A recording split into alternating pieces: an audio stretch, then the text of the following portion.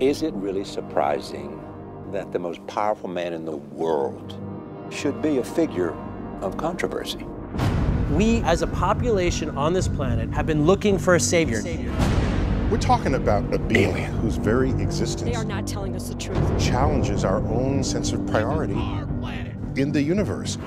Human beings have a horrible track record of Tragedy. following people of great Power power. corrupts, and absolute power corrupts absolutely. chaos. Maybe he's just a guy trying to do the right We thing. We know better now, don't we? Devils don't come from hell beneath us. They brought their war here. They come from the sky. The world has been so caught up with what he can do that no one has asked what he should do.